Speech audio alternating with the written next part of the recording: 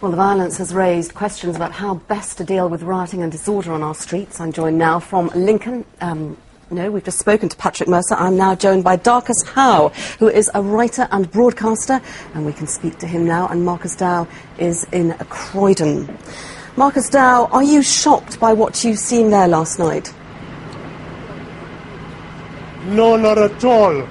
I have been living in London for 50 years there are so many different moods and moments.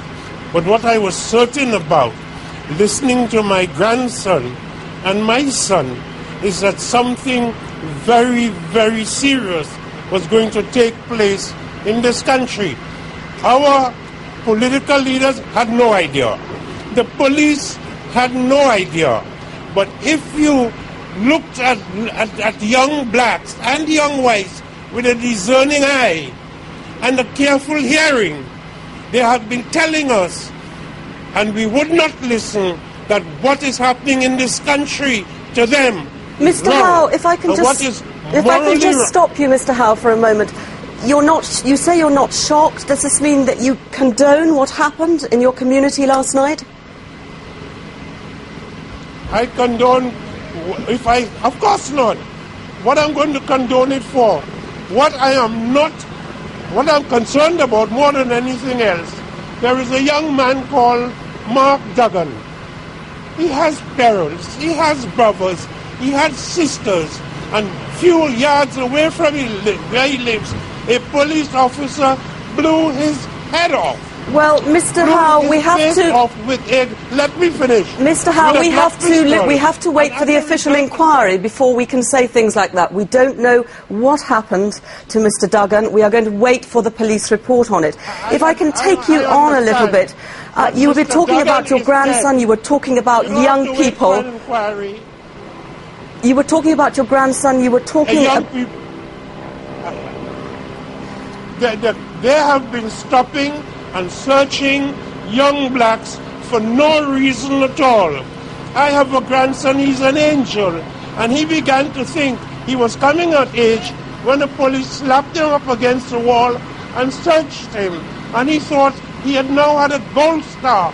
I asked him the other day, apropos of a sense that something was going seriously wrong in this country. I said, how many times have the police searched you? He said, Papa, I can't count. There's so many times. Mr. Howe, that may well have happened, and if you say it did, I, I'm, I am not to gainsay you, but that is, well that is, that is no... that is not an excuse to go out rioting and cause the sort of damage that we have been seeing over the last few days. Where were you in 1981 in Brixton? Mr. They had a, I don't call it rioting, I call it an insurrection of the masses of the people.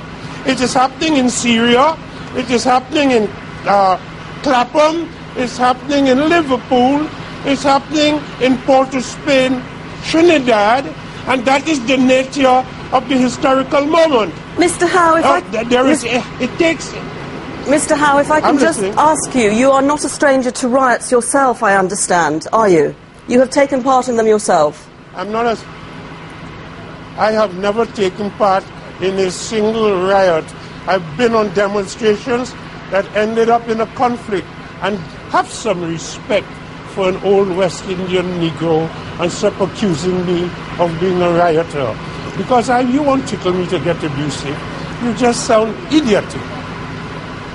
Have some respect. Darcus Howe. grandchildren Thank you very much for joining us from Croydon. Darcus Howe, their writer and broadcaster.